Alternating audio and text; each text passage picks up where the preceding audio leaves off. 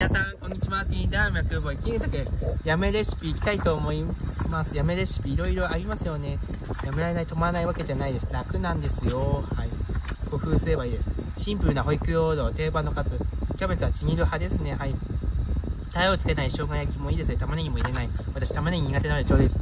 ポークソテーはマーマレードソード、フルーティーです。ブリと竜田揚げもいいですよね。チキン、照り焼きチキン、タルタルソース、これ、チキン南蛮。うん。一倍で焼いてたバイオ、はい。楽ウマ唐揚げ、ボールは使わない、二度揚げしない。フライパンバング、和風オニオンソースいいですよね。包まないシューマイ、いいかもしれない。楽ね。ふわとろオムライスも楽ですね。はい。マカロニグラタンも、はい。ホワイトソースいらずだから大丈夫ですね。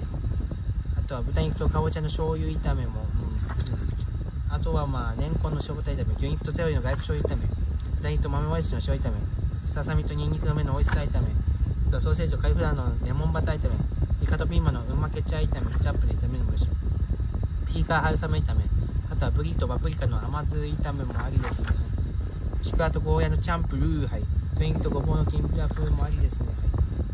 煮物だとエビとカブのトロトロあんや、車風入り肉ジャーガー、鶏肉とさつまいも塩蒸し煮がおすすめです。以上です。バイバイ。